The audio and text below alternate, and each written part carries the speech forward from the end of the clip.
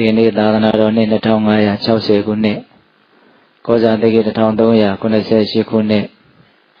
တရင်ကျော်လာဇန်4ရက်ညကင်းညချမ်းအခါကာလမှာလေကူးမျိုးတစ္ဆာရွှေစီကျောင်းလေးတွင်မှာရှင်ကျင်းပကြတဲ့ငါရတာတရားစခန်းပွဲဒီနေ့တတိယနေ့နော်မြတ်စွာဘုရားရှင်ကိုရမြတ်ကြီးဟောကြားတော်မူခဲ့တဲ့ မဟာသတိပဋ္ဌာန်သုတ်တံမှာလာရှိတဲ့ဒေသနာများနဲ့အညီမြတ်သောခြင်းကိုကြိုးစားအထောက်ကြတဲ့အခါကာလမှာဦးဇင်းတို့တရားနာပေးတဲ့ပေါင်းသူတော်ကောင်းတို့မိမိတို့ကြိုးစားအထောက်နေကြတဲ့မဟာသတိပဋ္ဌာန်လုပ်ငန်းစဉ်နဲ့ပတ်သက်ပြီးတော့မိမိတို့ရဲ့စိတ်ဓာတ်တွေပို့ပြီးတော့ထက်သန်လာစေဖို့စိတ်ဓာတ်ခွန်အားတွေပို့ပြီးတော့ကြီးမားလာစေဖို့စရှိတဲ့ရည်ရွယ်ချက်တို့ဖြင့်တရားဒေသနာများဟောကြားရနာကြားရတယ်ပေါ့နော် တော့ဒီကနေ့ဦးဇင်းတို့ဗာပြောခြင်းလဲဆိုတော့မနတုံးကပြောခဲ့တဲ့ယောနိသောမနတိကာရရဲ့အကြောင်းကိုဆက်ပြီးတော့ပြောခြင်းပါတယ်နော်ယောနိသောမနတိကာရဆိုတာဘယ်လိုအခြေအနေမျိုးနဲ့ပဲကြုံကြုံသူရှိနေလို့ရှိရင်ကုသိုလ်ဖြစ်တယ်သူရှိမနေဘူးဆိုလို့ရှိရင်အကုသိုလ်ဖြစ်တယ်လို့မနတုံးကအဲ့ဒါပြောတာမှတ်မိမယ်ထင်ပါတယ်နော် ဣထာယုံဆိုတဲ့တင့်တယ်တဲ့အာယုံနဲ့လည်းတွေ့မယ်အာယုန်ဤသောမနတိကာရလည်းရှိနေမယ်ဆိုရင်ဒါຢာကဖြစ်မယ်လို့မနေ့ကမှတ်သားခဲ့ကြတယ်ဟုတ်လားအနိဋ္ဌာယုံလို့ဆိုတဲ့စိတ်တို့ဘွယ်ရာစိတ်ပြက်ဘွယ်ရာအာယုန်နေနဲ့လည်းတွေ့မယ်အာယုန်ဤသောမနတိကာရဆိုတဲ့နှလုံးသွင်းမှားယွင်းမှုတွေလည်းရှိနေမယ်ဆိုရင်ဒေါသဆိုတဲ့ကိလေသာတွေဖြစ်လာမယ်ဆိုတာကိုလည်းမှတ်သားခဲ့ရတယ်တတိယောနိသောမနတိကာရ ရှိခြင်းမရှိခြင်းဟာဘလောက်အရေးပါလဲဆိုတာလေးကိုမနက်ကဦးဇင်းတို့ပြောခဲ့တာအဲ့ဒီတရားလေးရဲ့အဆက်လို့ဆိုကြပါစို့အဲ့ဒါဦးဇင်းတို့အင်္ဂုတ္တပါဠိတော်စတုကနိပတ်ထဲမှာပညာဥဒိသုတ်တံဆိုပြီးတော့သုတ်တံတူတူလေးတစ်ပုဒ်မြတ်စွာဘုရားဟောထားတာကိုမှတ်တမ်းတင်ထားတာရှိပါပညာဥဒိဆိုတာအသိဉာဏ်ပညာကြီးမားတိုးတက်ခြင်းလို့ဒီလိုအဓိပ္ပာယ်ရတယ်နော်ဥဒိဆိုတာကြီးပွားတိုးတက်တာ အခုတရားဓမ္မတို့ဦးဇင်းတို့ဒီတရားဘာဝနာလို့ကိုကြိုးစားအထောက်ကြတယ်ဆိုတာအဓိကရွယ်ချက်ကအသိဉာဏ်ပညာတိုးတက်ခြင်းလို့ကြီးပွားခြင်းလို့ဒါပဲเนาะရွယ်ချက်ကဘလောက်ဒီအသိဉာဏ်ပညာကိုတိုးတက်ခြင်းတာတုံးလို့မေးရင်နိဗ္ဗာန်ချမ်းသာကိုသိနိုင်မြင်နိုင်သည့်အထိအသိဉာဏ်ပညာကိုတိုးတက်ခြင်းတာကြီးပွားခြင်းတာအသိဉာဏ်ပညာထဲမှာမဲ့ဉာဏ်ဘုံဉာဏ်သည်အကြီးပွားဆုံးသောတိုးတက်ဆုံးသောမြင့်မြတ်ဆုံးသောအသိဉာဏ်လို့လည်းပဲပေးတဲ့တို့က မှတ်သားဖို့ထားကြတယ်ပေါ့ဟုတ်လားအဲ့တော့မိမိတို့ဒီလုံကလုံနေတာကိုမဆိုနဲ့မဆိုထားနဲ့ကျန်တဲ့ဒါနသီလသမာဓိအစရှိတဲ့ကုသိုလ်ကောင်းမှုတွေလုံနေတဲ့အခါမျိုးမှာတောင်မှအသိဉာဏ်ပညာကိုသာလည်းအထောက်ပံ့ဖြစ်ပါစေဆိုတဲ့မှန်ကန်တဲ့ရည်ရွယ်ချက်တွေထားကြကြတာပဲမဟုတ်လားအေးအဲ့တော့ပညာဝုဒ္ဓိအသိဉာဏ်ပညာကို တိုးတက်စေတယ်ဆိုတဲ့ ဒီမြတ်စွာဘုရားဟောထားတဲ့သုတ်တန်လေးကအသိဉာဏ်ပညာကိုတိုးတက်ကြီးပွားခြင်းရတဲ့တရားဓမ္မတို့ဦးဇင်းတို့အတွက်အလွန်မှတ်သားတဲ့သုတ်တန်တစ်ပုဒ်ပေါ့နော်အဲ့ဒီမှာမြတ်စွာဘုရားကသတ္တာတော်မေဘိက္ခွေဓမ္မာပညာဥဒိယသံဝတ္တန်တိလို့အဲ့လိုလေးစချီပြီးတော့ဟောတယ်ဘိက္ခွေယဟန်တော်တို့သတ္တာတော်၄ပါးကုန်သောဣမေဓမ္မာဟောဒီတရား၄ခုဟာပညာဥဒိယအသိဉာဏ်ပညာကြီးပွားတိုးတက်ခြင်းကသံဝတ္တတိသံဝတ္တန်တိဖြစ်ကြတယ်လို့အဲ့လိုမြတ်စွာဘုရားစတယ် နော်အဲ့တော့ပညာတိုးတက်ကြီးပွားဖို့အတွက်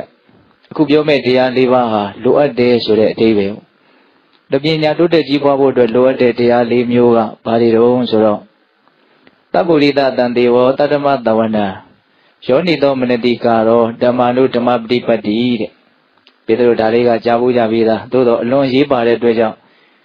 မှတ်သားနေတယ်ဗောနော်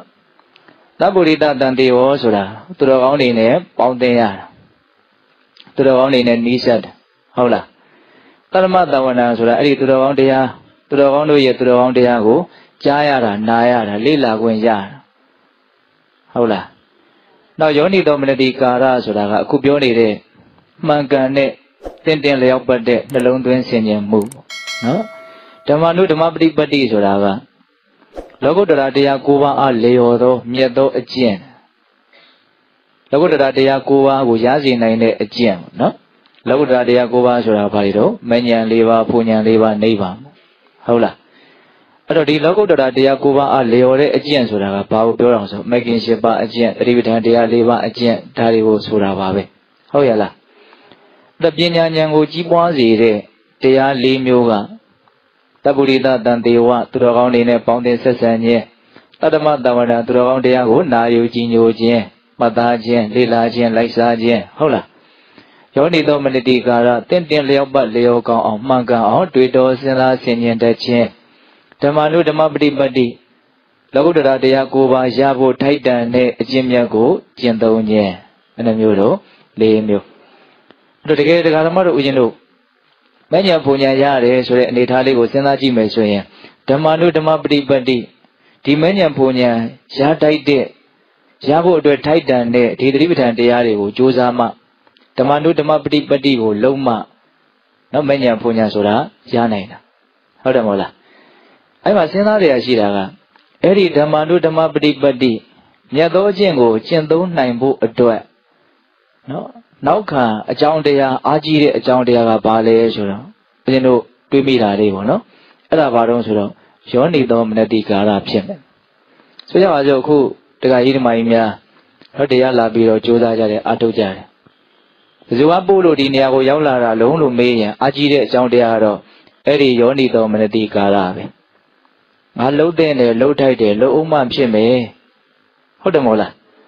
တင်းတင်းလျောက်ပတ်တဲ့အတွေးရောနော်ဒီယောနိသောမရတိကာရအားကောင်းလို့ဓမ္မနုဓမ္မပฏิပတ္တိအဆင့်ကိုလှမ်းနိုင်တယ်ဟုတ်တယ်မဟုတ်လားဆက်ဆက်မှုကိုနားလည်သေးချင်တာနော် အဲ့တော့အဲ့ဒီယောနိသောမရတိကာရဒါဟာလှုပ်တဲ့နဲ့လှုပ်ထိုက်တယ်လို့မှန်မှန်ကန်ကန်တွေးတောဆင်ခြင်တတ်တဲ့အည်သွေးကလည်းအလကားတော့ရတာတော့မဟုတ်ဘယ်ရရတော့လို့မေးရင်သူ့ရှင်နာမှာတတ္တမတဝဏံဆိုတာလေးနော်တတ္တမတဝဏံဆိုတာဘာလို့သူတော်ကောင်းတရားကိုနာယူထားတာမှတ်သားထားတာလေးလာလိုက်စားထားတာသူတော်ကောင်းတရားနဲ့ပတ်သက်တဲ့အချက်လက်တွေခေါင်းထဲထည့်ထားတာတရားတွေအများကြီးနာထားတာအဲ့ဒီအတိတွေရှိလို့ တွေးတာလေးကတဘာဝကြနေတာလို့ပြောကြတယ်ဟုတ်တယ်မဟုတ်လားဓမ္မနုဓမ္မပฏิပတိဖြစ်ဖို့အတွက်ယောနိသောမနတိကာရအလွန်အရေးကြီးလိုအပ်တယ်ယောနိသောမနတိကာရဖြစ်ဖို့အတွက်သူတော်ကောင်းတရားကိုများများစားစားလေးလာမှတ်သားထားဖို့လိုအပ်တယ်ဟုတ်တယ်မဟုတ်လားအဲ့လိုဆိုရင်သူတော်ကောင်းတရားတွေများများစားစားကိုယ့်ရဲ့ကောင်းထဲမှာမှတ်သားထားဘူးဖို့ဆိုရင်သူတော်ကောင်းတွေနဲ့မပေါင်းသင်းမဲနဲ့ဖြစ်နိုင်မလားမဖြစ်နိုင်ဘူး သဗ္ဗုရိတတန်တေဝဟုတ်လားအဲ့တော့ပိဿပေါင်းသူတော်ကောင်းတို့ဒီတရားလေးပါးကအချင်းချင်းဆက်ဆက်နေတယ်ဆိုတာလေးကိုဦးဇင်းကတွေးကြည့်တာပါဟုတ်လားတကယ်အတိတူဉာဏ်တို့ကိုရတာကတော့ဓမ္မနုဓမ္မပတိသူတော်ကောင်းတရားကိုသူတော်ကောင်းတရားလေရော်တဲ့အကျင့်မြတ်ကိုကျင့်သုံးလို့ရတာသို့တော့အဲ့ဒီအကျင့်ကလည်းပဲယောနိသောမနိတိကာရနှလုံးသွင်းမှန်ကန်ခဲ့လို့ရှင်းသုံးနိုင်တာနှလုံးသွင်းမှန်ကန်တာကလည်းသူတော်ကောင်းတရားတွေနာယူမှတ်သားထားဘူးလို့ ကိုယ်ကောင်းထဲမှာသိတာတွေနဲ့ဆက်ဆက်ပြီးတော့ချင့်ချိန်ပြီးတော့ဆင်ခြင်ပြီးတော့ဆုံးဖြတ်ကြတာတွေးရတာကိုဟုတ်တယ်မို့လားအဲ့တော့ကိုယ်ကောင်းထဲမှာဘာတွေထည့်ထားလဲအဲ့ဒါပုံမှန်မူတည်ပြီးတော့ဘလို့အတွေးတွေထွက်လာမလဲဆိုတာဖြစ်လာတာလို့ဦးဇင်းကတော့အဲ့လိုတွေးမိတယ်ဟုတ်လားအဲ့တော့ကိုကောင်းတဲ့ကိုဘလို့အတွေးအမြင်တွေရောက်လာတယ်ဆိုတာကလည်းကိုဘေးကဘလို့လူတွေလဲကိုကဘလို့လူတွေနဲ့ပေါင်းတင်ဆက်ဆံတာလဲဆိုတာပုံမှာအများကြီးမမတည်ဘူးလား ကိုဝင်းကိုဝင်းကျင်မှာရှိတဲ့လူတွေကကိုယ့်ပေါ်မှာအများကြီးလွှမ်းမိုးမှုရှိတယ်ဆိုတာကိုတော့သဘောပေါက်ဖို့လိုတယ်နော်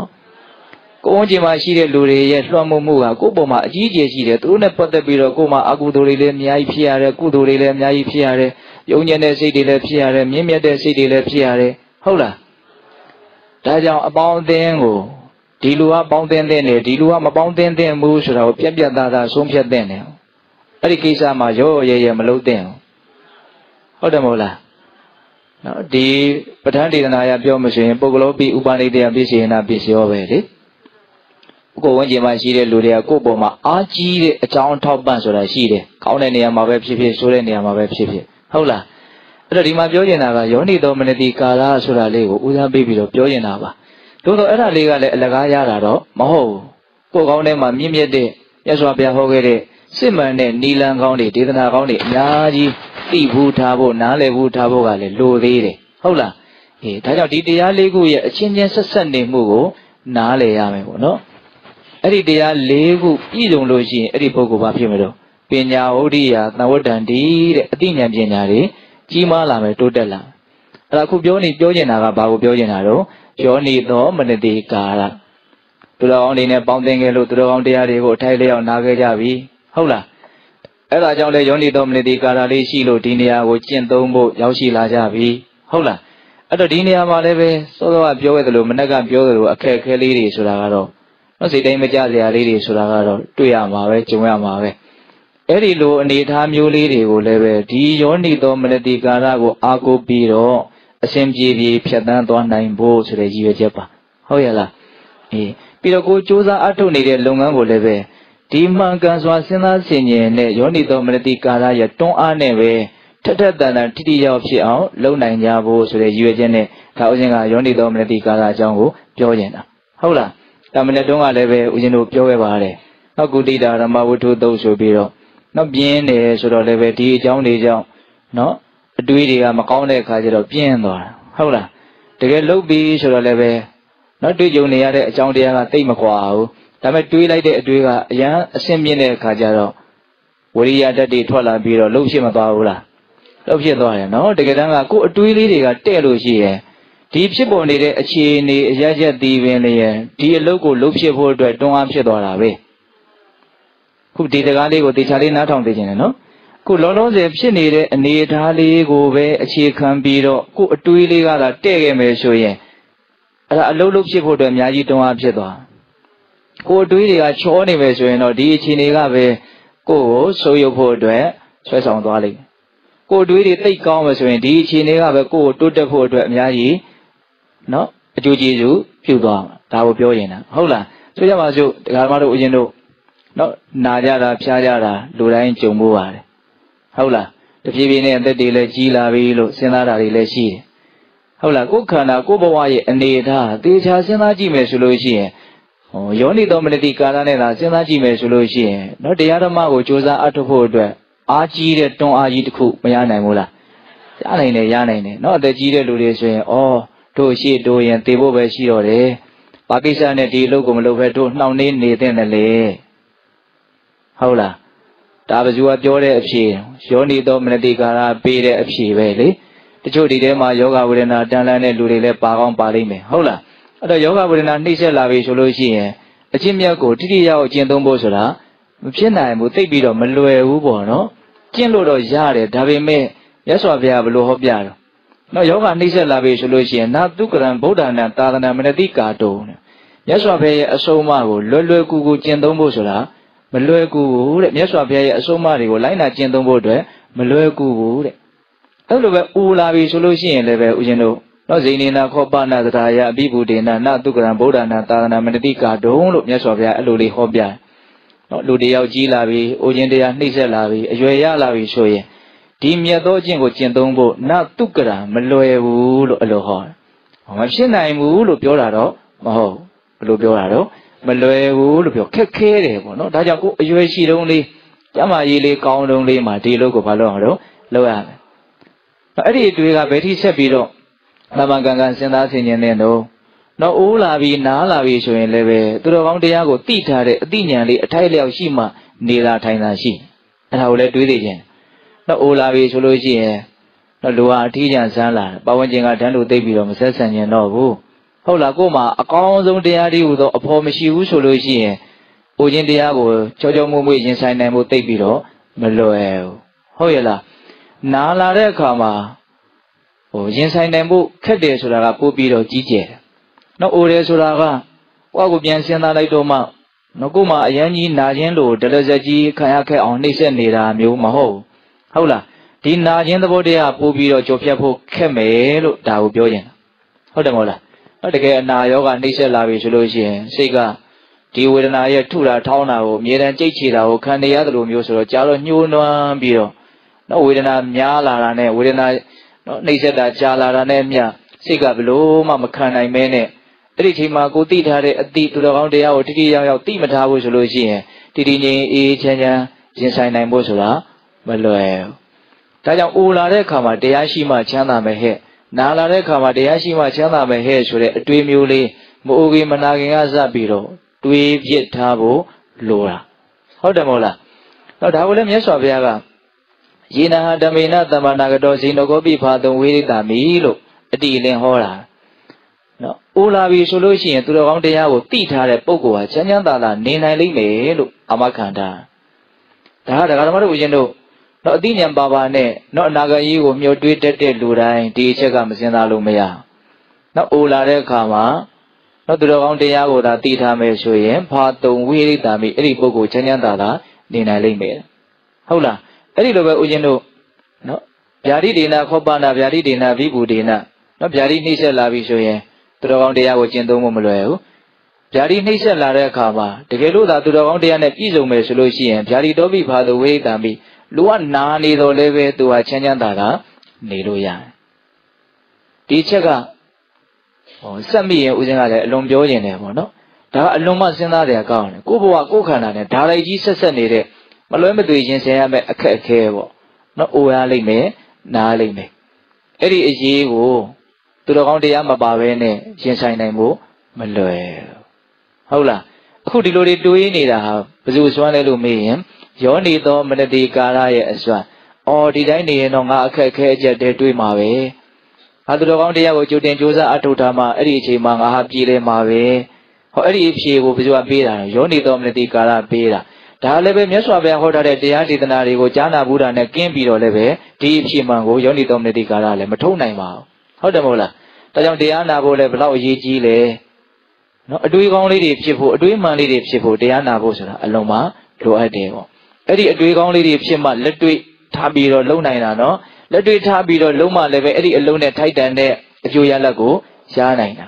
ဟုတ်ရဲ့လား ဒါကြောင့်လုံးလုံးစီတက္ကသမားတို့ဦးရင်တို့အခုဒီခန္ဓာရဲ့အနေအထားကိုကြည့်မယ်ဆိုရင်ကိုကသာနှလုံးသွင်းတတ်မယ်ဆိုရင်ဒီခန္ဓာရဲ့အနေအထားကပဲတရားလုံးကိုအထုတ်ဖြစ်ဖို့အတွက်တွန်းအားပေးတယ်ဟုတ်ရဲ့လားဦးရင်တို့မင်းကုန်းစတော်ကြီးအကြောင်းဝင်နေနေပြောရင်နော်မင်းကုန်းစတော်ကြီးဦးရင်တို့24ခုနှစ်လောက်ကနော်စေးသားမားလို့ဆိုပြီးတော့မျက်နာကြီးတစ်ချမ်းကျင်းထုံသွားတာအဲ့ဒါဆရာဝန်ကြီးဥဒါလာနဲ့ကုတော့ခါကြတော့ နောက်တော့အဲ့ဒီမျက်နာကြီးချမ်းနီးရဲသွားတော်တော်နဲ့မပြောင်းအဲ့ဒါနဲ့ညတညမှာတော့သူအိတ်ဆက်ရင်းနဲ့အိတ်မက်ထဲမှာပေါ့အရှင်ရဲ့ဇီဝိတတန်တာနှစ်နာရီပဲကြံတော့တယ်လို့တစုံတယောက်ကလာပြောတယ်တဲ့နောက်နောက်ထပ်နှစ်နာရီပဲအသက်ရှင်တော့နှစ်နာရီပြည့်ရင်သေတော့မယ်ပေါ့အဲ့တော့အဲ့ဒီအိမ်မက်ထဲမှာပဲသူထိတ်လန့်တုန်လှုပ်ပြီးတော့မသွားဘူးတဲ့ဆိုကြီးကနော်အဲ့လိုဆိုရင်ငါသေရတော့မယ်ဆိုလို့ရှိရင်ငါဘာလို့အားကိုးရပါမလို့လို့ အဲ့လိုသူစဉ်းစားလိုက်တဲ့အခါမှာအိမ်မက်ထဲတယ်နော်နော်စပင်စကဓမ္မဒေသနာရှင်ရဟုလာကိုမြတ်စွာဘုရားဟောထားတဲ့မနေ့တိုင်ပေးတဲ့တို့ဘုရားဟောတဲ့အခါမှာနော်ခန္ဓာနဲ့ပတ်သက်ပြီးတော့စဉ်းစားဆင်ခြင်တဲ့ဝိပဿနာကမပါဘူးလားအေးအဲ့ဒီလင်္ကာမျိုးလေးစလိုကြီးရေးထားတာရှိတယ်နော်မျက်စိနာနာလျာကိုယ်စိတ်အာယုံ6ပါးဝိညာဏတ6ပါးနော်အဲ့ဒီ6ခုမှာ6ခု6ခုတွေကိုဦးဇင်းတို့5မျိုးပေါ့ အဲ့ဒီမှာနေသဒုက္ခအနတ္တတော့စဉ်းစားဆင်ခြင်ပြီးတော့ဒါဟာငါငါဥစ္စာမဟုတ်သဘာဝတရားတွေနေသဒုက္ခအနတ္တသဘာဝတွေလို့မြတ်စွာဘုရားဟောပြတဲ့ရှင်ရဟုလာကိုဟောထားတဲ့တရားရှိတယ်အဲ့ဒါကဆရာတော်ကြီးကသူအမြဲတမ်းနှလုံးသွင်းဆင်ခြင်တဲ့တရားလို့ဆိုတယ်အဲ့တော့သူကအဲ့ဒါလေးကိုအမှတ်ရပြီးတော့ဘာကိုအားကိုးမလဲအဲ့လိုဆိုရင်ငါသိပြီဆိုရင်ဘာကိုအားကိုးမလို့ဆိုပညာပညာလို့နှစ်ချက်တောင်ထပ်ပြီးတော့သူကြားအောင်လိုက်တယ်အဲ့ဒါနဲ့နိုးလဲနိုးလာပြီလဲဆိုရောတော့ဆိုကြီးက ဘယ်သူမှမရှိပါဘူးသူ့သူအိယာတိုက်ခန်းထဲမှာနိုးလာပြီဆိုတဲ့အခါကျတော့ဥဒန်းစကားအနေနဲ့စကားသုံးခုပြောမိတယ်တဲ့အဲ့ဒါကဘာလို့ဆိုတော့နော်ငါဟာမိမိရောရောပေါ်ပေါ်ဆာဆာမနေသင့်ဘူးဟုတ်လားဘာလို့ဆိုတေခြင်းတရားနဲ့ငါအချင်းချက်မရှိဘူးဟုတ်လားဒါကြောင့်မို့လို့ကိုလှုပ်ရမယ့်အကျိုးရှိတဲ့အလုပ်တွေကိုနော်စောစည်းစွာတဲ့ကစားကြိုတင်ပြီးတော့ငါဟာလှုပ်တဲ့နယ်လို့အချက်၃ချက်အလွန်မှအဓိကကြပါတယ် ဟုတ်လားငါဟာမိမိရောရောမနေသင့်ဘူးပေါင်းစောတေခြင်းတရားနဲ့ငါလည်းအချင်းချက်မရှိဘူးဒါကြောင့်ငါလှုပ်ရမယ့်လုပ်ကိုငါဟာပြီးစီးအောင်စောစည်းစည်းငါလှုပ်ထားတဲ့နယ်ဆိုတော့၃ချက်ဟုတ်လားအဲ့ဒါကိုဆရာတော်ကြီးကသူ့ကိုလူမမာလာမေးတဲ့လူတိုင်းလူတိုင်းဒီဆုံးမဩဝါဒ၃ချက်ကိုမပေးရရင်တာဝန်ကြီးတယ်လို့ကိုမထင်ဘူးတဲ့ဆိုကြီးကဟုတ်လားအဲ့ဒါနဲ့နောက်တော့အကြောင်းတကာတယောက်ကတော့သူရဲ့အကြောင်းရည်တခြားဘွဲမှာ ရက်တောင်လေးတွေကမ်းကျင်ပါတယ်ဆိုတော့အဲ့ဒီရက်တောင်မှာဟောတံဝေကလင်္ကာဆိုဆိုကြီးကရေးပေးတာအဲ့ဒါပေးတဲ့တို့ရမယ်ထင်တယ်အဲ့ဒီတံဝေကလင်္ကာလေးယုံနာဓမ္မသင်္ခါရတို့ကိုကဤပုံဖြစ်လို့တုံလဲတဖုံရှင်ခွဲသူတနေဖြင့်ဖောက်လွဲတတ်စွာဓမ္မရာကိုပညာစကုမျောထောက်ရှု၍ယခုပင်လည်းမအိုခင်ကကြိုတင်ကောင်းမှုကြိုးစားပြုလောယခုပင်လည်းမနာခင်ကကြိုတင်ကောင်းမှုကြိုးစားပြုလောယခုပင်လည်းမသေးခင်ကကြိုတင်ကောင်းမှုကြိုးစားပြုလောယရုချိန်ထောက် ဤခါရောက်မှချုပ်ပြောက်ခန္ဓာသေဘိငါဟုတရဝခပင်ရှင်သေမင်းနဲ့မိတ်သိင်းဖွဲ့လေချင်းချက်လင်တဇက်ကမမရှိရဘူးအပမရိဏဘိခဝေတံပါတိထဘုရားစကားလိုက်နာပွားသည်တရားလက်မလွတ်စေနဲ့ဟုတ်လားအဲ့ဒါဆိုတော့ကြီးကအဲ့ဒီအိမ်မက်လိုလိုဘာလိုလိုဖြစ်ပြီးတဲ့နောက်မှာအဲ့ဒါကိုအမြဲတမ်းဆုံးမအဲ့ဒီလင်္ကာလေးလည်းအလွန်တရာမှ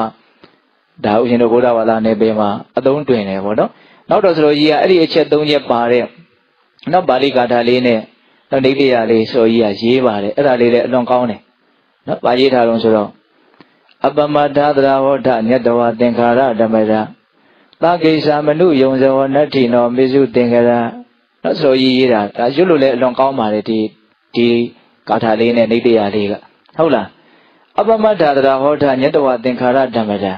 သာကိစ္စမနုယုံဇဝနတ္ထိနောမေစုသင်္ခါရ နော်အဓိပ္ပာယ်ကစောစောက၃ချက်ပါပဲနော်ညတဝသင်္ခါရဓမ္မရာသင်္ခါရတို့ရဲ့သဘောတဘာဝကိုတော့သိအောင်ကြိုးစားရမယ်တဲ့ဒီခန္ဓာရဲ့သဘာဝကိုသိအောင်ကြိုးစားရမယ်ဒီခန္ဓာရဲ့သဘာဝကိုသိပြီးရင်ဘာလို့အောင်ဆိုအပ္ပမတ္ထာတရာဟောတာအမြဲတမ်းမမေ့တဲ့သတိတရားနဲ့ကောင်းတာကိုကြိုးစားရမယ်ဘာဖြစ်လို့လဲဆိုတော့နတ္ထိနောမေရှုသင်္ကတာသင်မင်းနဲ့ကိုယ်နဲ့ဟာချိန်ချက်ထားတာမရှိဘူးတဲ့ဒါကြောင့်မလို့တကိစ္စမနုယုံစောမိမိရဲ့ နော်အကျိုးစီးပွားတွေကိုတော့စောစီးပြီးပြီးစည်းအောင်ဆောင်ရွက်ထားတဲ့နေမိမိရောရောဘောဆလာမနေတဲ့မို့ဆိုတဲ့အဓိပ္ပာယ်ပေါ့အဲ့ဒါဆိုကြီးကအဲ့ဒီလင်္ကာအဲ့ဒီခါတာလေးကိုရေးတာဟုတ်ရဲ့လားဒါကြောင့်ဦးဇင်းတို့ပြေးတဲ့ပေါင်းတော်ကောင်းတို့ယောဂါတော့လူတိုင်းလူတိုင်းနော်တွေ့ကြကြုံကြဘူးပါတယ်တွေ့ခဲ့လဲတွေ့ခဲ့ဘူးပါတယ်ဟုတ်လားဒါပေမဲ့များသောအားဖြင့်တာမန်လူတွေကယောဂဗျာနှိမ့်ဆက်လာပြီးတွေ့လာပြီးဆိုရင်ဘယ်လိုစဉ်းစားတာတော့ဟောစီကုကိုပဲစဉ်းစားတာပေါ့ ဟုတ်တယ်မဟုတ်လားယောဂပြောက်ဖို့ပဲစဉ်းစားတာပေါ့နော်တက်တာခွင့်ရဖို့ပဲစဉ်းစားတာခုဒီမှာကျတော့ဘယ်လိုစဉ်းစားတာတော့နော်ဟာကောင်းတဲ့အလုပ်ကိုမြန်မြန်လုပ်ဖို့ဒါသတိပေးတာလို့သူတို့အဲ့လိုစဉ်းစားတာနော်ဈေးမကူဘူးလို့ဆိုလိုတာမဟုတ်ဘူးနော်ဈေးကူဖို့စဉ်းစားယုံမျှနဲ့တော့ဒါမြင်မာတဲ့အတိလို့မဆိုနိုင်ဘူးသူကမပြည့်စည်အောင်ပဲသူကလှုပ်ချင်တယ်ဒီတိုင်းအကောင်းလေးတိုင်းဖြစ်နေခြင်းတာဒါဒီသဘာဝဟာတစ်ချိန်ကျရင်ပြည့်စည်သွားလိမ့်မယ်ဒါဟာနော်ဟိုကျွတ်တို့ ဦးဇင်းစိတ်ထဲမှာဘာလို့သွားသွားပြီးတော့ထင်တော့ဆိုတော့တော့တောဒီပါဒီမှာငဘတော့ကမီးကအမြဲတမ်းမရဘူးလေအဲ့တော့မီးမိတ်တော့မယ်ဆိုလို့ရှိရင်မီးမမိတ်ခင်မှာကြိုတင်ပြီးတော့အချက်ပြတာအချက်ပေးတာမီးလေးကိုမိတ်ချီဖွင့်ချီလောက်ပြသိတယ်မဟုတ်လားနောက်သုံးခါလောက်မီးမိတ်ပြဆိုဘာလို့ခဏနေမီးမိတ်တော့မယ်လို့သူကသတိပေးလိုက်တာအဲ့တော့အရေးကြီးတာလေးလှုပ်ရှားရှိရလေးမြန်မြန်လှုပ်ထားပေါ့ပြီးရင်မီးကမိတ်တော့မှာလေဟုတ်လားအဲ့တော့တကယ်တမ်းကကျမ်းမာရေးဖောက်ပြန်နေဆိုအဲ့ဒါနဲ့တူလိုက်တာလို့ဦးဇင်းကတော့ထင်တယ်ပေါ့နော် ဘာလို့တာတော့ပျက်စီးတော့မှာဒီဥစ္စာကဟုတ်လားဒါကြောင့်ပစ္စည်းမှမို့လို့လာလာပြီးတော့အချက်ပြနေတာဆိုတဲ့တရားကိုစဉ်းစားမိတာဒါကဦးဇင်းတို့ဘေးသက်ပေါင်းဆိုတော့တာမာအဖြစ်တော့ယောဂဖြစ်လာပြီဆိုလို့ရှိရင်ရှေးကူဖို့ပဲစဉ်းစားတယ်နောက်စိတ်တိုင်းမကြတာတွေဖြစ်လာတယ်ဒါကတော့ဘာမှနော်အစဉ်တန်းရှိတဲ့အတွေးလို့မဆိုနိုင်ဘူးဟုတ်ရဲ့လားဒါကြောင့်ဦးဇင်းတို့ဘေးသက်ပေါင်းဆိုတော့တွေ့ကြုံနေတဲ့ဒီအခြေအနေတွေဒီအနေအထားတွေကိုနော်ကိုယ့်ရဲ့ကြာဘူးနာဝရှိထားတဲ့တရားဒေသနာတွေနဲ့ ထိမ့်ညှိပြီးတော့ယောနိတော်မနတိကာရနော်အတွေးကောင်းအောင်အတွေးမှန်အောင်နော်မှန်ကန်တဲ့အတွေးတွေအားကောင်းလာအောင်ဘာလို့အောင်တော့ကြိုးစားရမှာအဲ့ဒီအတွေးတွေအလွန်မှန်အလွန်အားကောင်းမှဒီတရားအထုတ်တယ်ဆိုတဲ့ဓမ္မနုဓမ္မပฏิပတ်တိစီကိုလှမ်းနိုင်မှာနော်အခုဓမ္မတို့အချင်းတို့တခါလေးပြင်းနေတဲ့လောကကောင်းမှတော့သိပါတယ်ဒါတော့ကောင်းတဲ့အလုပ်မရှိဘူးလို့လည်းသိတယ်ဟုတ်လားဒါပေမဲ့တခါလေးဘာဖြစ်နေတော့ပြင်းနေတယ်စိတ်ဝင်စားတခါလေးကြောက်လည်းမေ့နေတယ်ဟုတ်လား အဲ့လိုမျိုးနေတယ်ဆိုတော့ဘာလို့ဆိုအဲ့ဒီယောနိတော်မလေးဒီကာရအပြော့နေတယ်အားပြောနေတာဟုတ်လားဒါကြောင့်အဲ့ဒါကိုအားကောင်းအောင်မလုပ်ဖို့လိုတော့ကြိုးစားအထုတ်ဖို့လိုတယ်အဲ့ဒါအားကောင်းဖို့ကလည်းစောစောကကွင်းဆက်လေးတွေရှိရနော်သူတော်ကောင်းတရားနဲ့အဆက်အသွယ်မပြတ်ရဘူးဒါကြောင့်နေစဉ်တရားတစ်ပုဒ်နှစ်ပုဒ်ကတော့နာသင့်တယ်လို့ဦးဇင်းထင်ကိုယ်စရိုက်နဲ့ကိုက်ညီမဲ့ကိုနာလည်းရရကိုရှိတယ်မှာအရန်ရှင်းတဲ့အတိညာကိုတကယ်တိုးစေတဲ့နော်ဘုရားဟောဒေသနာတွေကိုမလုပ်သင့်တော့နာယူသင့်တယ် အဲ့ဒါပါတော့ကိုယ့်ရဲ့မှန်ကန်တဲ့အားကောင်းတဲ့အတွေးမှန်တွေရဖို့ဟုတ်လားအဲ့ဒါရမှဟိုဘက်ကိုဆက်ပြီးတော့သွားနိုင်ပါဟုတ်လားဒါကြောင့်ရှိသူတော်ကောင်းကြီးတွေကနော်ဘလို့အခြေအနေမျိုးပဲဖြစ်နေဖြစ်နေသူတို့ရဲ့အတွေးကအဲ့ဒီလွတ်မြောက်ရေးဘက်ကိုသူတို့ရှေ့ရှုကြတာတွေရှိတယ်အဲ့ဒါနဲ့ပတ်သက်ပြီးတော့ဦးဇင်းတို့နော်ဘာပြောကျင်တုံးဆိုတော့ဇာတကနိပတ်တော်မှာနော်နည်းနည်းလေးရေစရာလည်းကောင်းတယ်ဇတ်တော်လေးတစ်ပုဒ်ရှိတယ်နော်သူတိမဇတ်ဆိုတော့ အဲ့ဒီဇတ်တော်မှာဘာပြောထားတော့ဆိုတော့ဦးဇင်းတို့ဘုရားလောင်းကပရောဟိတ်အမတ်ကြီးရဲ့သားတစ်ယောက်ဖြစ်တယ်အဲ့ဒါဗြဟ္မတရှင်ဘင်ရဲ့သားကလည်းပဲဗြဟ္မတထကုမာရဆိုပြီးတော့မင်းသားလေးပေါ့ဒါဘုရားလောင်းကပရောဟိတ်ဘုံနာရဲ့သားဆိုတော့သူကပရောဟိတ်ဖြစ်မဲ့လူပေါ့နော်အဲ့ဒါဘုရင်သားနဲ့ပရောဟိတ်သားအရန်ရင်းနှီးတယ်ခင်မဲ့တယ်တငယ်ချင်းလက်ပင်ဖက်ပြီးတော့ကြီးလာတော့အဲ့ဒါနဲ့ဘုရင်ကြီးနိုင်ပါဆံကံတော်ကုန်ပြီဆိုတော့ဗြဟ္မတထကုမာရမင်းသားလေးကဘုရင်ဖြစ်တယ် သူဘုရင်ဖြစ်ပြီးတော့သူ့ရဲ့တငယ်ချင်းကိုဘာလို့ဆိုပရောဟိတ်ယာတုပေးတယ်ပေါ့ဟုတ်လားအဲ့လိုနဲ့တော့ဘုရင်ကြီးကလည်းပဲငငယ်ရွယ်ရွယ်ကံကုန်သွားဟန်တူပါတယ်အဲ့ဒီဘုရင်ကြီးရဲ့မိဖုရားကတိတ်ပြီးတော့အသက်မကြီးသေးဘူး40ကျော်လောက်ပဲရှိမယ်ပေါ့။သားဖြစ်တဲ့လူကငငယ်ရွယ်ရွယ်ရှင်ဘုရင်ဖြစ်တယ်။အဲ့လိုနဲ့ဒီနေ့ရောက်တော့ဘာလုပ်လဲဆိုတော့နော်ပရောဟိတ်ဘုံသားကိုဆင်းနောက်မှာတင်ပြီးတော့ဘုရင်ကတိုင်းကလှည့်လိုက်တာ။ အဲ့ဒါကိုဒီဘုရင်ရဲ့မေတော်ဖြစ်တဲ့နော်မိဖုရားကြီးကသူ့ရဲ့သားရဲ့အသေးရေကိုကြည့်မယ်ဆိုပြီးတော့လေသာပရင်းကနေကြည့်တာကြည့်တော့သူသားနောက်မှာထိုင်ပြီးတော့လိုက်လာတဲ့ဘုရားလောင်းပရောဟိတ်ပုံနာကိုမြင်တယ်အဲ့ဒါမြင်မြင်ချင်းပဲအလွန်တက်ဆွမ်းတဲ့စိတ်ဖြစ်ပြီးတော့မစားနိုင်မတော့နိုင်ဖြစ်တယ်ပြောမှလည်းရှက်တယ်ဟောလုံးမမေးလို့လည်းမရအောင်မရတဲ့အခါကျတော့သားဖြစ်တဲ့လူကအလွန်လိမ့်မာတယ်မေကိုလွန်ချစ်တယ် အဲ့ဒါနဲ့သူ့ရဲ့မိဖုရားကြီးကိုမေးခိုင်းတယ်သွားမင်းရောက်ခမကြီးကိုဘာဖြစ်တာတော့သွားမေးစမ်းဆိုဟောလည်းနောက်ဆုံးတော့မရှင်းနိုင်ဘူးပြောတာအဲ့ဒီပရောဟိတ်ပုံနာကိုမမောတဲ့အတွက်ကြောင့်ဒီလိုဖြစ်နေတာလို့ပြောတာပြောတော့သားဖြစ်တဲ့လူကဘာလို့တယ်ထင်လဲအဲ့ဒီပရောဟိတ်ကိုခေါ်ပြီးတော့တောင်းပန်တာဗျာမင်းရှင်မင်းလုပ်ပါငါအမေကိုယူပြီးတော့ငါအိမ်ရှင်မင်းသားလုပ်ပါမယ်အလုံးမမဖြစ်နိုင်ဘူးဟိုကတားတယ်ငါမလုပ်ချင်ဘူးတော့ငါဒါသိစိတ်ဝင်စားဘုရားလောင်းကလည်းအဲ့လိုဖြစ်တယ် ဒါပေမဲ့မင်းငါရဲ့အမေရဲ့အသက်ကိုပေးပါမင်းငါ့ကိုချစ်တယ်ဆိုလို့ရှိရင်ခုငါတောင်းပန်တာမင်းလက်ခံပါအဲ့ဒါလည်းဘလို့မှမရတဲ့အဆုံးမှာအဲ့ဒါဘုရားလောင်းကအရှင်မင်းလောက်ရတယ်ပေါ့အဲ့ဒီမိဘုရားကြီးကိုပြောရှင်မင်းလောက်ရတယ်အဲ့မိဘုရားကြီးကလည်းသူ့ကိုအလွန်ချစ်ပါတယ်အဲ့လိုနဲ့နေလာရင်းနဲ့အရွယ်ကနည်းနည်းကွာတဲ့ခါကျတော့နော်မိဘုရားကြီးကတိတ်လဲစိတ်မချဘူးအဲ့ဒါဘုရားလောင်းကလည်းပဲသူကအရွယ်သားငယ်တာအမြဲတမ်းသူ့ရဲ့စိတ်ကဒီဒီလန်းစည်းစိမ်ထဲမှာတိတ်ပြီးတော့စိတ်ဝင်စား သူကဘာစိတ်ဝင်စားတော့ဆိုတော့နော်ဒီမြတ်တဲ့အကျင့်ကိုကျင့်သုံးပြီးတော့ဘဝကိုဒိဗေရှိရှိလေးလေးနက်နက်တွေးပြီးတော့သူကအဲ့လိုတယောက်တည်းနေတဲ့အလေးအကျင့်ကသူ့မှာစွဲမြဲနေတယ်နော်တိတ်ပြီးတော့ရောရောနှောနှောနေတာမရှိဘူးအဲ့ဒါကိုပဲမိဖုရားကြီးကနော်ဒီပရောဟိတ်ကငါ့ကိုတက်ကြီးလို့ပြိတ်မမြတ်နိုးတာနဲ့တူတယ်အဲ့တော့တူနဲ့အတူတူနေရအောင်ဆိုတော့သူဘလို့ကြံတော့ဆိုတော့မိဖုရားကြီးကတနာတော့တနာစရာပဲတိလာဘလို့ကြံလဲဆိုတော့ဒီနေ့တော့ အဲ့ဒီဘုရားလောင်းရဲ့ခေါင်းကဆပင်တွေကိုဖိပြီးရင်းနဲ့အလုပ်လဲဆိုတော့ဘုရားလောင်းရဲ့ခေါင်းကဆပင်တစ်ပင်ကိုနှုတ်လိုက်တယ်နှုတ်ပြီးတော့အဲ့ဒီဆပင်ကိုဘေးပစ်ပြီးတော့သူ့ခေါင်းကဆပင်ပြူတစ်ပြူကိုနှုတ်လိုက်တယ်ဟုတ်လားအဲ့ဒါကတော့ကြိုးပြီးတော့နှုတ်ထားတယ်ဗောခေါင်းကဆပင်ပြူနှုတ်ပြီးတော့အဲ့ဒါဘုရားလောင်းဆပင်ကိုနှုတ်ဘုရားလောင်းဆပင်ကိုတော့ဘေးပစ်ပြီးတော့အဲ့ဒါမင်းကြီးမင်းကြီးကောင်ကဟောဒီဆပင်ပြူတွေ့ရတယ်ဆိုတော့ဘုရားလောင်းရဲ့လက်ထဲကိုဆပင်ပြူထည့်တကယ်တမ်းသူ့ခေါင်းကဆပင်ပြူကြီးဟုတ်လားဘလို့စိတ်ကူးနဲ့ထဲတာလို့ဆိုတော့ ငါအိုပြီးလျှောက်ပြီးတော့ငါတွေးနေဖို့မသင့်ဘူးဒီမိဖုရားကြီးနဲ့ပဲငါဒီလိုပဲရိုးမြေကြနေသွားဖို့ဆိုတဲ့အဲ့ဒီအတွေးမျိုးဖြစ်အောင်လို့မိဖုရားကြီးကလှုပ်တယ်ဟုတ်လားအဲ့လိုလဲပြလိုက်ခါရောမှန်ကျင်တဲ့နှံတော့ကမကရဘူးဟုတ်လားနော်အဲ့ဒါဘုရားလောင်းကဘာဖြစ်တုံးဆိုတော့သူကောင်းကသပင်လို့သူတကယ်ထင်တယ်အဲ့ဒါသပင်မျိုးကြည့်ပြီးတော့ချွေးတွေထွက်လာတယ်တဲ့နော်ချွေးတွေပြပြကြအောင်ထွက်လာတယ် ထွက်လာပြီးတော့အလွန်ထိတ်လန့်တုန်လို့တယ်။အော်ငါစပင်ပြူတောင်ပေါက်လာပြီလား။အဲ့လိုဆိုလို့ရှိရင်ငါဒီမှာနေလို့မဖြစ်တော့ဘူးတဲ့။ငါရသေးဝစ်ပြီးတော့ငါမြတ်သောကျင့်ကိုပဲကျင့်တော့မယ်ဆို။ဟောအဲ့လိုဖြစ်တယ်ကဲ။ဘလို့မှတားလို့ကိုမရတော့ဘူး။အဲ့ဒါမိဖုရားကြီးအဲ့ကြတော့မှသူကလိန်ညာမိတာပါ။ဒါမင်းကြီးရဲ့ခေါင်းကစပင်ပြူမဟုတ်။မင်းကြီးဟာနုပြူပါသေးတယ်။ငယ်ရွယ်ပါသေးတယ်။ဆိုအကုန်လုံးစပင်ပြူတပင်မှမရှိတဲ့ကြောင့်သူပြောတယ်ဒါသူခေါင်းကစပင်ပြူပါ။ဘလို့မှပြောလို့မရတော့ gain မိဖုရားရဲ့ခေါင်းကစပင်ပြူပဲဖြစ်ဖြစ် ငါကောင်းကစပင်ပြူပဲဖြစ်ဖြစ်အခုမပေါက်သေးရင်လည်းပြီးရင်လည်းပေါက်လာမှာပဲဆိုတဲ့အတွေးနေမှာပေါ့ဟုတ်လားအဲ့ဒါနဲ့ဘုရားလောင်းကလုံးဝတားလို့မရတော့ဘူးအဲ့ဒါဒီနေ့စည်းစိမ်ကိုတငယ်ချင်းဖြစ်တဲ့ပရောဟိတ်ကိုပြန်အပ်ပြီးတော့ငိုယိုးနေကြတဲ့နန်းတော်ကြီးတစ်ခုလုံးကိုစွန့်လွတ်ပြီးတော့ခိမွန်တာဝင်ပြီးတော့ရသေးဝတ်ဒါကမြတ်စွာဘုရားကကိုတော်မြတ်ရဲ့မြတ်သောတောထွက်ခြင်းကိုကြီးမွမ်းကြတဲ့ယဟန်တွေကိုအကြောင်းပြုပြီးတော့ဒီလက်တော်လေးကိုဟောတာပါအဲ့တော့ဦးဇင်းကပြောချင်တာကနော်အခြေအနေရရက်တွေကတော့ ဒီထဲမှာမွေးလျော်ဖို့နေချိုက်ဖို့ဖန်တီးကြတာပေါ့နော်ဒါပေမဲ့ယောနိတော်မနတိကာရအားကောင်းတဲ့အခါကျတော့အဲ့ဒီအခြေအနေကပဲတစ်ဖက်လူမျောလင်းတဲ့အနေအထားမျိုးဖြစ်မလာဘဲနဲ့တော့စန့်ကျင်ဘက်နော်တဘာဝကြတဲ့လှုပ်တင်လှုပ်ထိုက်တဲ့အလုပ်ကိုလုပ်ဖို့အတွက်တွန်းအားကြီးတစ်ခုဖြစ်မသွားဘူးလားဖြစ်သွားတယ်အဲ့ဒါပဲအဲ့ဒါပဲနော်အဲ့ဒါဘာတော့ဆိုတော့လူတယောက်ရဲ့အတွေးပေါ့သူဘလို့စဉ်းစားတာတော့ဟုတ်လား သူဘလို့စဉ်းစားတာတော့ဆိုတာကလည်းပဲသူငကိုယ်တုန်းကဘာတွေမှတ်သားဖို့ထားတာတော့ဆိုတာပေါ်မှာအများကြီးမူတည်ပြောရင်ကတရားတွေများများနာထားမှအတွေ့ကောင်းတွေများများထွက်မှာနော်ဒါကြောင့်မြတ်စွာဘုရားဒေသနာတွေကိုအများကြီးမှတ်ရမယ်အထူးသဖြင့်ပါမခောက်ကျုပ်ဆိုတော့ဘုရားကြီးဟောတဲ့တရားဒေသနာတွေကိုအများကြီးမှတ်သားကြည့်သင့်တယ်နော်အစီအစဉ်တကြနော်ကြည်ကြည်ပြတ်ပြတ်နော်တရားတွေမထက်အောင်အများကြီးနာမှတ်သားဟုတ်လားအဲ့ဒါဆိုရင်မြတ်စွာဘုရားဒေသနာတွေကိုအများကြီးအချက်လက် စုံစုံကိုမှတ်သားထားတဲ့အခါမှာတစုံတစ်ခုတွေးပြီးဆိုရင်အဲ့ဒါတွေကနောက်ွယ်ကနေပြီးတော့လမ်းကြောင်းတက်အောင်အကျိုးကျေးဇူးမပြုတ်နိုင်မိဘူးလားပြုတ်နိုင်တယ်တော့တရားနာခြင်းရဲ့ဆွမ်းအား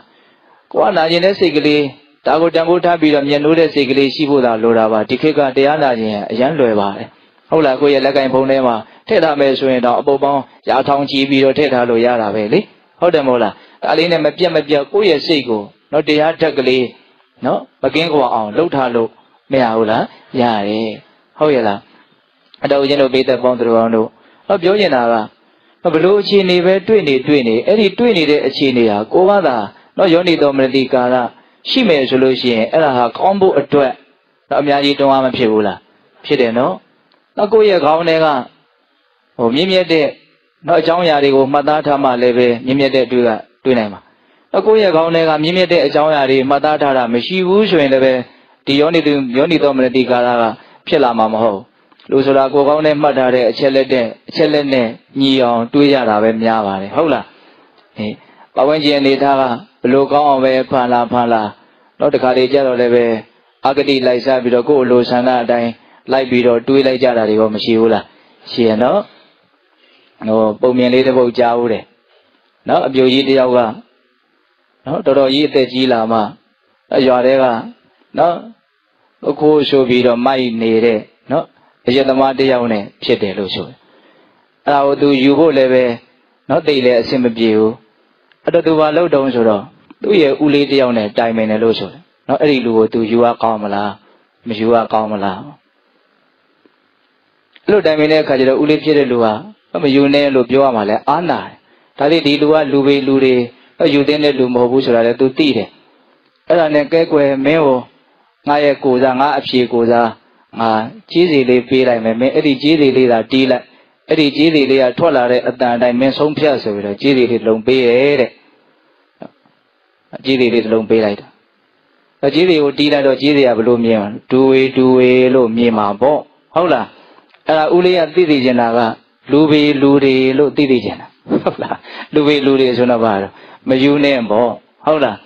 အဲ့တော့ပြိုကြီးဖြစ်တဲ့လူကဦးလေးပြန်သွားပြီဆိုတော့ကြေးသေးလေးတီးလိုက်တယ်ကြေးသေးလေးကဒူဝေဒူဝေလို့မြည်တယ်ဟုတ်လားဒါမဲ့သူ့စိတ်ထဲကဘလို့ထင်လို့ဆိုယူလေယူလေလို့ထင်တယ်တဲ့ဟုတ်လားဟောတကယ်ဟောထင်သေးချင်တာဘလို့ထင်သေးချင်တာလူပေလူတွေလို့ထင်သေးချင်တာဒါဗမာပုံမြင်လေးတွေပါရမ်းစိတ်ဝင်စားတယ်ကောင်းတယ်ဟုတ်လားလူဆိုတာကိုတွေးကျင်လို့တွေးတာပဲဆိုတာလေးကိုပဲဦးဇင်းကအဲ့ဒီအဲ့လိုလုပ်လိုက်ရင်အဲ့ဒီပုံမြင်လေးကိုတောတောပြီးတော့အမှတ်ရတယ်။အော်ဟိုကသိသေးချင်တာကတစ်မျိုးဒီကသိသွားတာတစ်မျိုးဟုတ်လား အဲ့တခါတလေကြောက်လေသဘာဝလောကကြီးကပြနေတာတစ်မျိုးကိုကမြင်တာတစ်မျိုးလွဲချော်တာတွေရောမရှိဘူးလားရှိရနော်ကြားသိကျင်တာကဘလို့ကြားသိကြအောင်လူပေလူတွေလို့ကြားသိကျင်တာကြားလိုက်တာဘလို့ကြားအောင်ယူလေယူလေလို့ကြားတာတဲ့ကဲနော်ဒါဦးချင်းတို့ဟိုတော့ဆရာကြီးလူလူဥလာရေးရဲ့အကြောင်းကန်ဒီမှာပုံမြင်များဆိုတဲ့စာအုပ်တွေထဲမှာပါတယ်ဒီပုံမြင်လေးတွေဟုတ်လားတောက်ပါတော့အဲ့တော့ဘလို့အတွေ့အကြုံတွေပဲတွေ့တွေ့ဘလို့အနေထားတွေပဲဖြစ်ဖြစ်နောက်တကသမားတို့ဦးချင်းတို့တွေ အမှန်ကန်တဲ့အတွေ့အမြင်တွေရဖို့ဆိုတာကကိုယ့်ရဲ့ခေါင်းထဲမှာငကိုကအလွန်ကောင်းမွန်တဲ့မှန်ကန်တဲ့တော့ဒေသနာတွေဒီဟိုတော့အချက်လက်ကောင်းတွေကိုထည့်ထားမိဖို့မလိုဘူးလားလိုတယ်ဟုတ်လားအဲ့လိုမျိုးအကြောင်းအကျိုးတွေအကုန်လုံးကောင်းကောင်းမွန်မွန်ဆက်ဆက်နေမှတော့အသိဉာဏ်ဆိုတာတိုးတက်နိုင်တာကြီးပွားနိုင်တာဟုတ်လားအခုတကယ်အလုံးလုံးနေတာကတော့ဒါဓမ္မတုဓမ္မပฏิပတ္တိပါပဲဟုတ်လားမိမိခန္ဓာမှာဘာပဲဖြစ်နေဖြစ်နေဖြစ်လာတဲ့သဘောဝတရားတွေရဲ့ပုံမှာ တော့တက်နိုင်တယ်မြငါတတိလေးထားပြီးတော့နေမယ်ဆိုတဲ့နော်ဒီဆုံးဖြတ်ချက်ကလေးပို့ပြီးတော့ခိုင်မအောင်ဦးဇင်းတို့ကလက်ဆောင်တောင်းဆောင်ကနေပြီးတော့တရားစကားတွေပြောပေးရတာပေါ့ဟုတ်လားတော့အခုဆက်ပြီးတော့ပြောနေတာကနော်တရားထိုင်တဲ့အခါမှာနော်ထိုင်တဲ့အခါလေးတင်ဟိုအဓိကလို့ဒီလိုမထားစေချင်ဘူးတော့တကယ်တမ်းကဟိုရိတ်တာလာပြီးတော့အာထုတ်ပြီးဆိုရင်တော့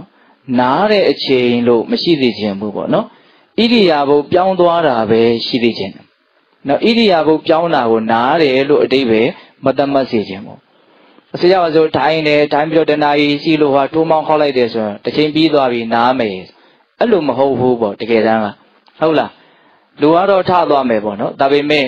တတိယတော့ဒီဖြစ်နေတဲ့အနေအထားပေါ်မှာကပ်ပြီးတော့ပါသွားရမယ်အဲ့ဒါမှသာနေရင်ကျန်တဲ့အချိန်တွေမှာနော်အဓိကထားနိုင်မှကျန်တဲ့အချိန်တွေကိုလည်းအရေးကြီးတယ် အတူတူပဲလို့အတူတူလုံးတဲ့အရာပဲလို့အဲ့လိုသိပြီးတော့ကျန်တဲ့အချိန်တွေပါနော်ထားပြီးတော့တတိထားပြီးတော့လုံနိုင်မှထိုင်တဲ့အချိန်လေးမှာပို့ပြီးတော့ထိတိရောက်ရှိအဲ့ဒီဥစ္စာကိုတော့ဦးဇင်းကတက်ကတက်ကပြောကြင်ပါတယ်ဟုတ်လားအေးအဲ့တော့ထိုင်တဲ့အချိန်မှာလည်းပဲတတ်နိုင်တယ်ဗျဇေလုံးလာဝရိယနဲ့တက်တက်တန်တန်နဲ့နော်ကြိုးစားအားထုတ်မယ်ပေါ့တော့ကြံတဲ့အချိန်တွေမှာလည်းပဲမလို့ရှိရဘူးငါလုံးမယ်ဆိုတာမျိုးလေးအဲ့လိုလေးဖြစ်စေချင်တာ ဟုတ်လားအဲ့လိုလုပ်တဲ့အချိန်မှာစကားမပြောဘဲနဲ့နော်ဘယ်သူမှလည်းအနှောင့်အယှက်မဖြစ်အောင်နော်နေရလည်းရောက်သွားအောင်ကိုလည်းပဲအလုတ်တွင်ကြရရောက်အောင်တတ်နိုင်တယ်များကျန်တဲ့အချိန်တွေမှာသတိကပ်ပြီးတော့နေတဲ့အလေးချင်းကိုပြုစုပြောထောင်ရမယ်ပေါ့ဟုတ်လားအဲ့ဒါမှသာနေဒကာမတို့ဦးဇင်းတို့ထိုင်တဲ့အချိန်မှာပို့ပြီးတော့အစဉ်ပြေမယ်ထိုင်တဲ့အချိန်အစဉ်ပြေမှလည်းပဲဩငါလောက်ရတာကျင်းတဲ့ဆရာကောင်းတယ်ဆိုတော့တော့ဆက်လက်ပြီးတော့နော်လေပတ်မှုကလေးပေါ့နော်ကိုကရောရဲရဲလှုပ်တယ်ဆိုလို့ရှိရင် ဝရိယတက်ကဘာဖြစ်နေလဲအားပြော့နေတယ်ဝရိယတက်အားပြောတဲ့အခါကျတော့သတိအားကလည်းနေသွားသတိအားနေတဲ့အခါကျတော့တည်ငြိမ်မှုစူးစိုက်နိုင်မှုကလည်းဘာဖြစ်တော့နေသွားနေသွားတဲ့အခါမှန်မှန်ကန်ကန်သိမှုကလည်းနေလိုက်သွားတာပဲဟုတ်တယ်မဟုတ်လားနေလိုက်သွားတဲ့အခါကျတော့တရားရဲ့အရသာကထွက်တဲ့လောက်မထွက်ဘူးအဲ့ဒီအချိန်မှာဩဒါလှုပ်တာလှုပ်ရတာတိတ်ပြီးတော့လည်းပဲအရာမရောက်ပါလားဆိုတာမျိုးတွေးလာမယ်ဆိုရင်ယုံကြည်မှုပါကြမသွားနိုင်ဘူးလားကြသွားနိုင်တယ်နော် လက်ပတ်နေတယ်နော်ဝရိယနဲ့လို့ရှိရင်သတိနေမယ်သတိနေရင်တမာရီနေမယ်တမာရီနေရင်ပညာနေမယ်အဲ့လိုအသိဉာဏ်ပညာနေသွားတဲ့အခါမှာဟိုဘက်မှာဆက်ပြီးတော့အစဘာဖြစ်သွားနိုင်တော့တရားတရားပါနေသွားနိုင်တယ်အဲ့လိုမဟုတ်ဘဲနဲ့ကိုကဒလဇက်ဝရိယကိုမြင့်တင်ပြီးတော့ကြိုးစားမယ်ဟုတ်လားဝရိယကိုမြင့်တင်ပြီးတော့ကြိုးစားမယ်ဘယ်ချိန်မှမလက်စီရဘူးရားနိုင်တယ်လို့ငါလုံမယ်ဆိုပြီးတော့ဇွဲနေပင်းနဲ့တကယ်လုံမယ်ဆိုလို့ရှိရင်တတိလည်းပါဖြစ်လာအားကောင်းလာတတိအားကောင်းလာလို့ရှိရင် တမာရီဆိုတဲ့တည်ငြိမ်နိုင်မှုရှုစိတ်နိုင်မှုတွေလည်းအားကောင်းလာမယ်တမာရီအားကောင်းလာလို့ရှိရင်လည်းပဲမှန်မှန်ကန်ကန်သိမှုပညာဟာလိုက်ပြီးတော့အားမကောင်းပြီဘူးလားအားကောင်းလာမယ်အဲ့တော့ငကိုယ်တော့ကမသိဘူးသေးတာလေးတွေသိလာတယ်မမြင်ဘူးသေးတာလေးတွေမြင်လာတယ်နားမလည်ဘူးသေးတာလေးနားလေလာတယ်ဩငကိုယ်တော့ကငါထင်နေတာကတမျိုးအခုတကယ်ဖြစ်နေတာကြီးကတမျိုးပါလားမတိဘူးသေးတဲ့အတိကိုတိလိုက်ရတာအလွန်မှအားရတယ်ကျင့်တတ်တယ်ဘာနဲ့မှမတူဘူးဒီဥစ္စာဟုတ်လားအဲ့လိုဆိုလို့ရှိရင်အော်ဒီအလုပ်က တကယ်လို့လို့ရှိရင်တကယ်ချမ်းသာတာကိုဒါတွေကတကယ်လေးနေတာကိုဟောဟိုဘက်မှာပါတိုးလာယုံကြည်မှုတိုးလာအဲ့ဒီယုံကြည်မှုတိုးလာတာနဲ့မြဝရိယလည်းထပ်ပြီးတော့တိုးလာတယ်တတိတိုးမယ်သမာဓိတိုးမယ်ပညာတိုးမယ်နောက်တရားတိုးမယ်ဝရိယတိုးမယ်ဟောအကုန်လုံးမဖြစ်သွားတော့လေပတ်လိုက်တယ်နောက်ဒီ၅ပါးလေပတ်နေဖို့လိုတယ်နော်ဒီငါးပါးမလဲပတ်ဘူးဆိုလို့ရှိရင်နော်ပြင်းပါနော် အလုပ်တစ်ခုလုပ်လိုက်တယ်အဲ့ဒီအလုပ်ရဲ့အရသာကိုမတွေ့ဘူးယတ္တကိုရှာလို့မတွေ့ဘူးဆိုရင်သေချာပေါက်ပြင်းလိုက်မယ်ဒါပဲလုပ်ပဲဖြစ်ဖြစ်ဟုတ်ရဲ့လားနော်လောကီလုပ်လဲဒီတိုင်းပဲနော်အဲ့ဒီအလုပ်ရဲ့အရသာကိုတွေ့မှအဲ့ဒီလုံးမှာပျော်နိုင်တာဆွေးမြဲနိုင်အဲ့ဒီအလုပ်ရဲ့အရသာကိုမတွေ့ဘူးဆိုလို့ရှိရင်အဲ့ဒီအလုပ်မှာမပျော်နိုင်ဘူးနော်အချိန်နေသာကုံသွားတယ်အချိန်နေသာသူ့အတူကုံသွားတယ်ကို့မှာတိတ်ပြီးတော့နော်နှစ်နှစ်ကာလကြီးပျော်ပျော်မွေ့မွေ့ကြီးမရှိလိုက်ဘူးအဲ့ဒါမျိုးမဖြစ်အောင်ဘာလို့အောင် ဝရိယထက်ထက်တန်တန်ထားရမယ်ပေါ့အဲ့တော့အကုန်လုံးပြောနေတာတွေကဆက်ဆက်မှုတွေကရှိမနေဘူးလားရှိနေတယ်နော်ယောနိသောမနတိကာရတွေအကောင်းမှလည်းပဲလုံးမဲလုံးမဲဆိုတာတွေကလည်းဖြစ်နိုင်တာဟုတ်လားဒါကြောင့်အစသာရာရာဒုချင်းတယောက်ချင်းစီမှာပြောမယ်ဆိုရင်တော့ကိုယ့်အတွက်ကိုဟာကိုယ့်အတွက်မူတည်ဆုံးပဲအဓိကအကြဆုံးပဲကိုယ့်ပုံမှာပဲမူတည်တာနော်ကိုယ်မှာဖြစ်နေတဲ့အနေအထားတွေအကုန်လုံးဟာအဓိကကတော့ဘယ်ပေါ်မှာမူတည်တာကိုယ်ပေါ်မှာမူတည်တာဘေးကအကြောင်းတရားတွေဆိုတာကမပြောပါတော့ ဟုတ်လားဘာကြောင့်ညာကြောင့်လို့ရိုးမယ်ဖွဲ့မယ်ဆိုရင်အဲ့ဒါကအသိဉာဏ်နဲ့ရရောက်တယ်ဟုတ်လားတကယ်တမ်းကိုယ်မှာဖြစ်နေတဲ့ကောင်းတာတွေပဲဖြစ်ဖြစ်ဆိုးတာတွေပဲဖြစ်ဖြစ်ဘယ်လိုအနေအထားမျိုးမဆိုအဲ့ဒါတွေဟာဘယ်သူပေါ်မှာမူတည်တာလဲလို့မေးရင်ကိုယ်ပေါ်မှာမူတည်တာဟုတ်လားဒါကြောင့်ကိုယ့်ရဲ့အည်အသွေးကိုမြင့်အောင်ကိုယ့်ဟာကိုယ်ပဲမလုပ်ကြရတော့စူးစမ်းကြရတာအဲ့လိုဦးဇင်းတို့စူးစမ်းတဲ့နေရာမှာတော့ဝရိယရှိခြင်းရဲ့အကျိုးကျေးဇူးတော့ဝရိယမရှိခြင်းရဲ့အပြစ်အနာစာဒါတွေကိုလည်းတွေးဖို့လိုတာပဲနော် ဒီဒီတရားစကားမှာတရားဓမ္မတို့ဦးဇင်းတို့ဘာမှဒီပြင်အကြောင်းအရာတွေကိုမတွေးဘဲနဲ့အမြဲတမ်းဒီအလုပ်ကြီးလုပ်နေတာတော့မဟုတ်ဘူးဒီပြင်ဟာတွေလည်းတစ်ခါလေတွေးနေတာတွေမရှိဘူးလားရှိရနော်အဲ့တော့ဒီပြင်ဟာတွေကိုတွေးနေမဲ့အတူတူဆိုရင်တော့တော့ဝရိယထက်တန်လို့ရှိရင်ဘလို့အကျိုးကျေးဇူးရနိုင်တယ်ငါလုံးမအကျိုးကျေးဇူးရနိုင်မှာမလို့ရင်တော့ငါမျောလန်းတာတာရှားမှာမဟုတ်ဘူးဆိုတဲ့အတွေးမျိုးတွေးတဲ့မတွေးတဲ့တွေးတဲ့နာပေါ့ဟုတ်တယ်မဟုတ်လားဒါကြောင့်မြတ်စွာဘုရားကအဲ့ဓာတွေကိုသိဖို့မြင်ဖို့လည်းပဲအများကြီးဟောတာနော် ဘုရင်တို့လည်းပဲချိန်မှများစွာဟောဥပါတယ်တော့ပြင်းရည်နေတဲ့ပုဂ္ဂိုလ်ဟာအကုသိုလ်တွေနဲ့သူ့ရဲ့စိတ်နဲ့ရောတဲ့အတွက်ကြောင့်လောလောဆယ်ကိုပဲသူဟာစင်နေရနေရတယ်တဲ့အလွန်အားကြီးတဲ့သူ့ရဲ့ကိုကြိုးစည်းဝါးလည်းပဲပျက်စီးတယ်တဲ့နှစ်ချက်ဟောတာနော်ကုတိတော်ဘိက္ခဝေဝိရတတိဟောကိနောပါပကေဟိအကုတလေဟိဓမ္မေဟိမဟာတင်္စတရထံပရိဟာပေတိတဲ့ဟုတ်လားပြင်းနေတဲ့ပုဂ္ဂိုလ်ဟာ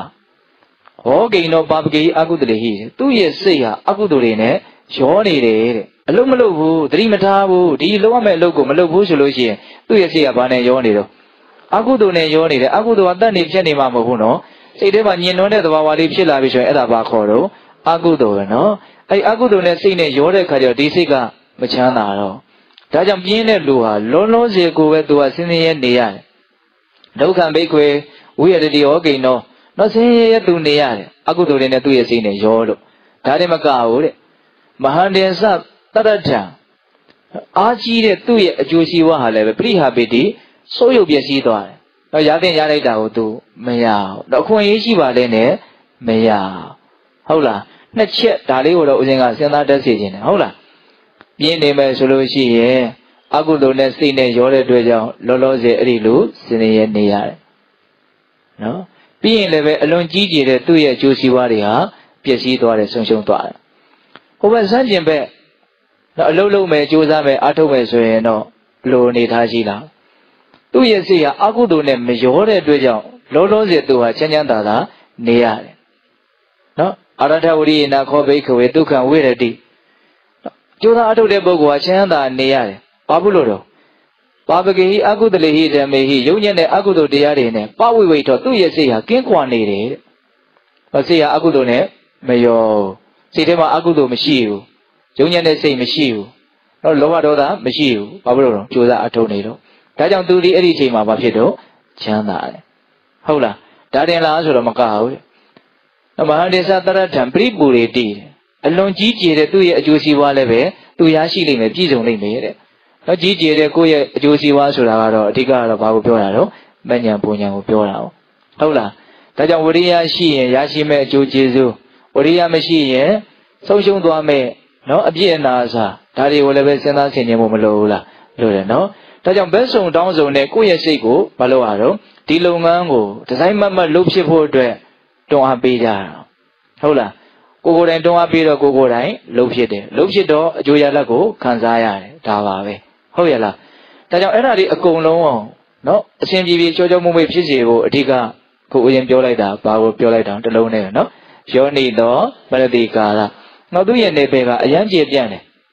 ယောနိတော်မလတိကာရရဲ့အတိဘယ်ဘွဲ့တွေကိုဦးဇင်းကအဘိဓမ္မာထဲမှာလိုက်ပြီးတော့ရှားကြည့်တယ်အများကြီးပဲအတိဘယ်တွေကဟုတ်လားနော်ကုသိုလ်ဖြစ်အောင်တွေးတာအကုသိုလ်မဖြစ်အောင်တွေးတာမှန်ကန်အောင်တွေးတာမှားယွင်းစွာမတွေးဘူးတဘာဝကြကြတွေးတာတဘာဝမကြတာတွေတွေးတာမဟုတ် နော်သူ့ရဲ့အတိဘယ်တွေကအများကြီးပဲဟုတ်လားယောနိတော်မလတိကာရနော်ဒါကြောင့်ဦးဇင်းတို့ပေးတဲ့ပေါင်းတော်ဒီယောနိတော်မလတိကာရလေးအားကောင်းအောင်အဖက်ဖက်ကနေပြီးတော့ကြိုးစားသူအားကောင်းမှဒီအလုပ်ကိုလက်တွေ့ထိထိရောက်ရောက်လုပ်နိုင်အဲ့ဒါလိုလုံးဝလည်းပဲသူ့ရဲ့အကျိုးရလဒ်တွေကိုတရားဓမ္မတို့ဦးဇင်းတို့ရရှိမှာဟုတ်ရဲ့လားဒါကြောင့်ဦးဇင်းတို့ဒီကနေ့ညယောနိတော်မနတိကာရနဲ့ပတ်သက်ပြီးတော့ဒါအများကြီးပြောလိုက်ပါနော်တော့သူတော်ကောင်းကြီးတွေရဲ့ အတွေ့အကြုံနေတဲ့အခြေအနေမျိုးမျိုးမှာသူတို့ရဲ့ယောနိတော်မနတိကာရလေးတွေကိုလည်းပဲဒါဦးဇင်းတို့အထိုက်လျောက်ထည့်ပြီးတော့ပြောရပါတယ်ဟုတ်လားဒါကြောင့်ဒီ9ရက်တာတရားစခန်းမှာတို့ကြိုးစားမယ်ဆိုတာလေးလက်တွေ့အကောင့်ထဲပေါ်အောင်နော်အာကောင်းတဲ့ယောနိတော်မတ္တိကာရနဲ့နော်တောင့်ခံနိုင်ဖို့မလိုဘူးလားလိုတယ်နော်အဲ့လိုမျိုးလေးတွေဖြစ်အောင်ဒါဦးဇင်းတို့ပြောပြရအောင်ဟုတ်လားဒါကြောင့်ပေးတဲ့ပေါင်းသူတော်ကောင်းတို့ဒီအပမဒဆိုတဲ့သတိတရားလက်ကင်ထားပြီးတော့နော်သူတော်ကောင်းတရားကို မိမိတို့မျှော်မှန်းထားတဲ့အကျိုးကျေးဇူးတွေရသည့်အထိကြိုးစားအားထုတ်နိုင်ကြတဲ့ပုဂ္ဂိုလ်တွေဖြစ်ကြပါစေလို့ဆန္ဒပြုပြီးတော့ဒီကနေ့ပြုလို့အားထုတ်အပ်သောဒါနသီလတမာတိပညာကုသိုလ်ကောင်းမှုအစုစုရဲ့စွမ်းတတ္တိကြောင့်ဘုရားတပည့်တော်တို့သည်မညံဘုညာမျက်နှိပ်ပံကိုလင်းမြန်ထုတ်ချောက်မျက်မှောက်ပြုပရစေကုန်သောဟုပတနာအောင်စုပြုကြကုန်ရာတည်း